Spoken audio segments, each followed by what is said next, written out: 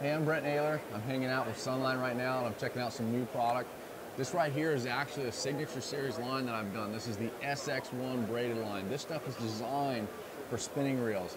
Right here is a 12 pound test. There's a new model out that's a high vis. This right here is an actual, it's bright yellow. The nice thing about that is that I can actually see my line now when it's in the water, but here's the thing, when I tie a leader on there, those fish never see that bright line. They're only seeing my clear, you know, Sunline, Sniper, fluorocarbon, they don't see this bright stuff. This allows me to see it. It's really bright, especially on those dark days where maybe it's a little adverse weather, you have a little bit of rain, a little bit of, you know, wind or clouds or something. It's very hard to see that green SX line. So eh, when you get in those conditions, check out the High Vis SX1. This stuff is amazing. I love this line. It's so smooth on your reel. It's unbelievable.